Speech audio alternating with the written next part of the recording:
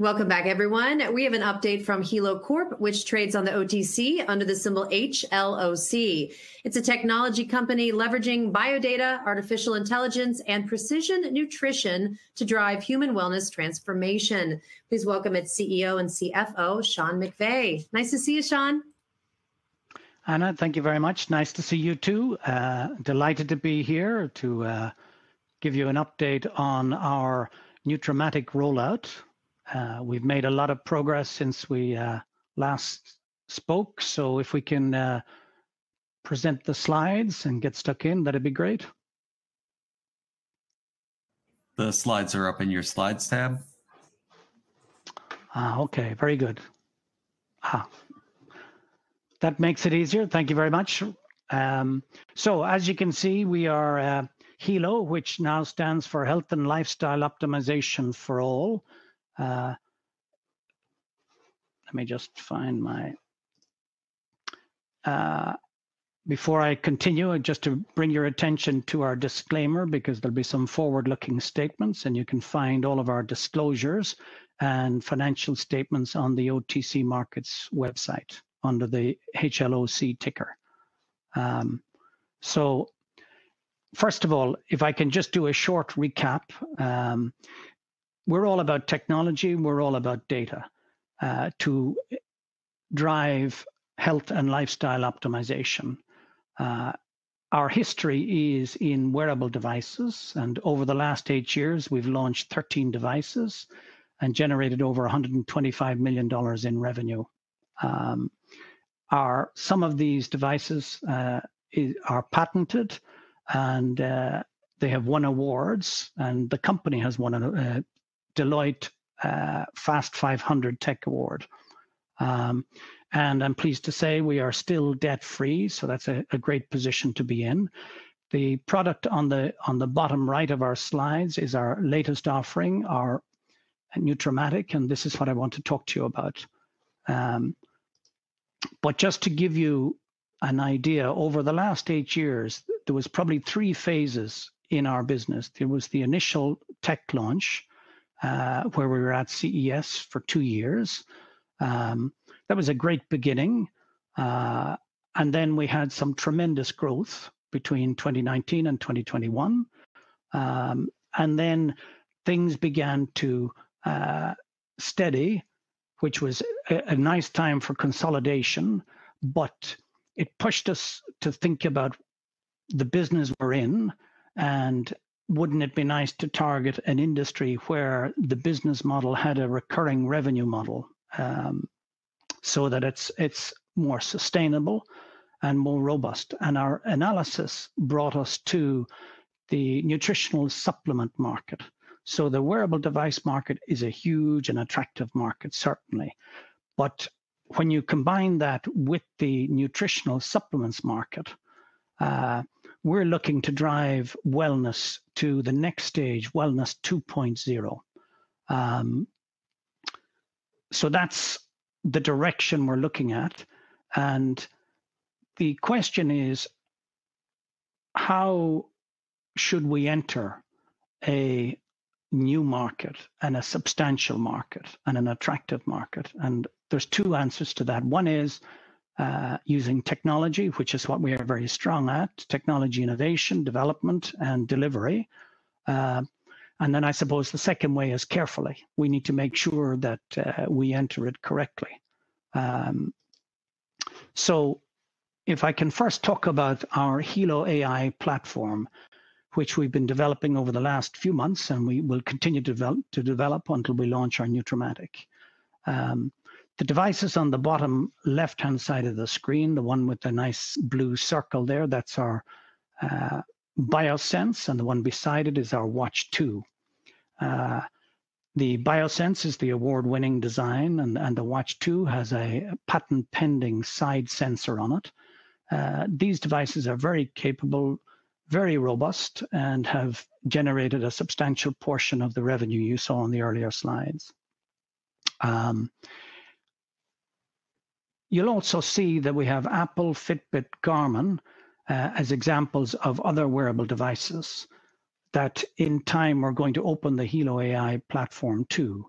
The idea there is that no matter what wearable device you have, we're happy to gather your biometrics and feed them into our Helo AI personalization engine. But wearable devices can only uh, provide part of the information. We also need your biomarker data, and we get that from our BioStrip product, a product that we've launched last year. These two products combined provide a lot of information for our engine, and uh, we take this information, use AI to analyze it, and then it informs our Helo Nutramatic, the device in the top right, what supplements and, and minerals you need at that point in time. So you get your real-time personalized nutrition, but also we combine that with individual lifestyle coaching. And then key to all of that is the arrow on the bottom, which is a feedback loop. So we assess your progress and then we revisit all of the metrics again, push it through the AI engine, do the analysis, and then perhaps the next day, your supplement combination will be different as it responds to the fact that you had a different day, uh, different experience, and require perhaps different supplement combination. Um, so that's the technology. We see that as technology that can disrupt a very uh, stable, traditional uh, supplement industry. Um, I also mentioned that we're looking to enter this new uh, market uh, in a in a way that's careful. Although we have the technology, we're we're training our AI engine. Um, we have uh, launched uh, our first Nutralife AI program, which is a, an investigational study available to participants worldwide. We had a, a launch in Taiwan and we invited people to participate in that. The limit was a thousand people, and we were oversubscribed for that. So now we're currently enrolling for our NAP 2. The advantage of this program is that uh, it allows us to train our AI engine. We get to know our customers, we get to know their biomarkers, and that combined with their wearable device data helps us build our AI knowledge domain, which is crucial. But also, more importantly, all NAP participants get the opportunity, will get the opportunity to purchase a Nutramatic at the early release stage. So this allows us to throttle and control the demand for what we see will be a very uh, it will be a product that will be in, there will be huge demand for this product. So we don't want to disappoint our customers. So this way, we can deliver to people who have been loyal to us.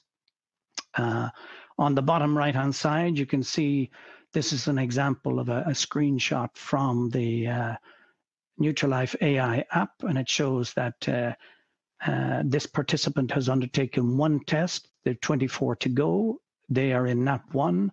And what that means is that uh, they will be eligible f- to purchase a, a Nutramatic uh, at the end of May, early June, assuming they complete the other 23 tests. So we're at a stage now where there's a lot of excitement uh, around our customer base. We're getting a huge amount of feedback everybody is participating, doing their tests, supplying their data. So our knowledge domain is being built, and we're very uh, confident that uh, we look forward to a successful launch of Nutramatic middle of this year. So that's it. Great, Sean. Thank you. We do have a few minutes for some questions. Will you talk a little bit about your pricing strategy for Nutramatic and the supplements? Sure. Um, so, as I mentioned earlier on, our, our NAP uh, participants will get a significant discount on the Nutramatic launch price, first of all.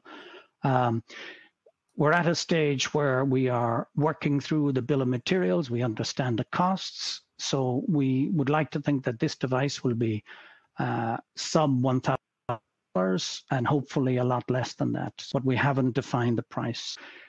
What we think will be very interesting is it will deliver supplement batches in of the order of our target is less than $100 per month for a single user and less than $150 for a family of users, up to four people. Um, and we've done a, a lot of analysis on this, and uh, we believe that we can provide all of our users with the supplements and nutrition combination they need based on their data for an amount of money similar to what they're probably spending already.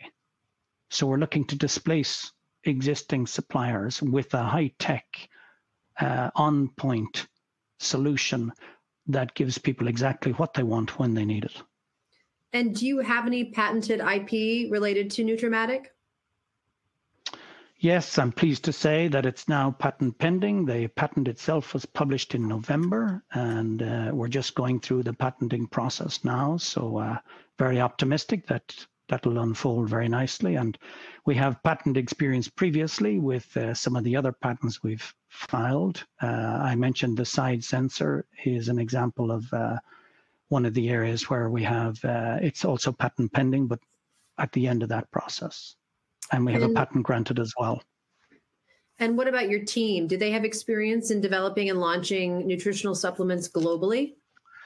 Well, that's that's why we need to step through our process very carefully because this is a, a new market for us. However, I'm very pleased to say we have a, a, a our uh, our marketing and, and president of Helo AI, uh, Kevin Fuller, has just joined has joined us earlier well at the end of last year, and uh, he has a huge amount of experience, and we're feeling the impact of his professionalism uh, because he is now pulling a lot of things together.